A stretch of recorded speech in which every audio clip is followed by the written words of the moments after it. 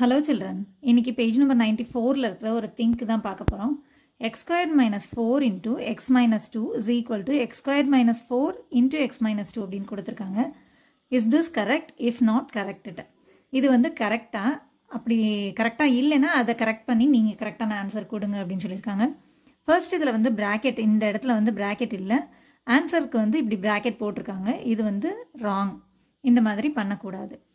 இப்போ இதுக்கு இதுக்கு என்ன அர்த்தம் இதுக்கு என்ன அர்த்தம் அப்படின்னா இந்த ஃபோரை வந்து இந்த உள்ளே இருக்கிற ஒவ்வொரு டேர்ம் கூடயும் மல்டிப்ளை பண்ணணும்னு அர்த்தம். அதாவது மைனஸ் ஃபோரை ஆனால் இந்த மாதிரி ப்ராக்கெட் போட்டிருந்தது அப்படின்னா இந்த ரெண்டு டேர்மையும் ஒவ்வொரு இதுக்கும் மல் கூடயும் மல்டிப்ளை பண்ணணும்னு அர்த்தம். எக்ஸ்கொயர்டை ஒவ்வொரு டேர்ம் கூடயும் மல்டிப்ளை பண்ணணும் மைனஸ் ஃபோரையும் ஒவ்வொரு டேர்ம் கூடயும் மல்டிப்ளை பண்ணணும்னு அர்த்தம். இதில் வந்து எக்ஸ்கொயர்ட் செப்பரேட் இந்த மைனஸ் ஃபோரை மட்டும் உள்ளே இருக்கிற ஒவ்வொரு டேர்ம் கூடயும் மல்டிப்ளை பண்ணணும்னு அர்த்தம்.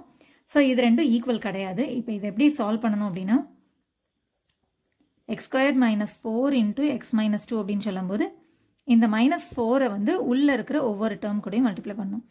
So this is equal to x squared into x squared plus போட்டுட்டு minus four into x plus minus four into minus two so minus ஃபோரை எக்ஸ் கூட மல்டிப்ளை பண்ணியிருக்கேன் அடுத்து மைனஸ் ஃபோரை மைனஸ் டூ கூட மல்டிப்ளை பண்ணியாச்சு.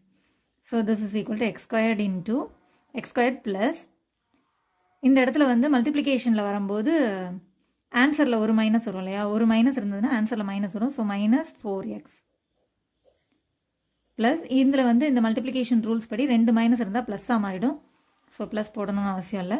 Four twos are eight so this is equal to இப்போ plus போட்டாலும் ப்ளஸ் இன்ட்டு ப்ளஸ் வந்து ப்ளஸ்ன்னு மாறிடும். இங்கே வந்து எக்ஸ் கைட் இந்த இடத்துல வந்து மல்டிப்ளிகேஷன் ரூல்ஸ் படி ஒரு மைனஸ் இருந்தால் மைனஸ் வந்துடணும் minus four x plus eight so this is the answer இப்போ இதையும் நம்ம தனியாக சால்வ் பண்ணி பார்த்துடலாம் அது வேறு ஆன்சர் கிடைக்குதா அப்படின்னு?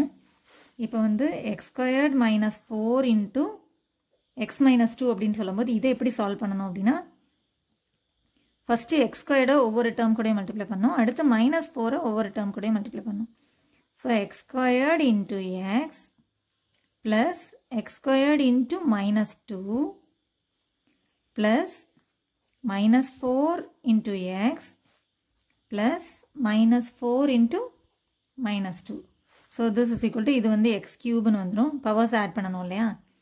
So two plus one is three இங்கே வந்து மைனஸ் டூ எக்ஸ் ஸ்கொயர்டு இங்கேயும் வந்து plus minus so multiplication rules படி மைனஸ் இருந்தது ஒரு மைனஸ் இருந்ததுன்னா ஆன்சரில் மைனஸ் கிடைக்கும்.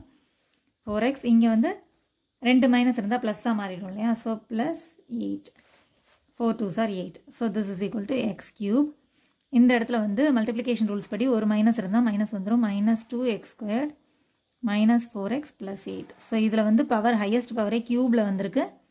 ஆனால் இந்த மாதிரி நம்மளோட கொஸ்டினுக்குரிய ஆன்சர் சால்வ் பண்ணும்போது ஸ்கொயரில் தான் ஆன்சர் கிடைக்கும். So this is the required answer that's all thanks for வாட்சிங் சில்ட்ரன்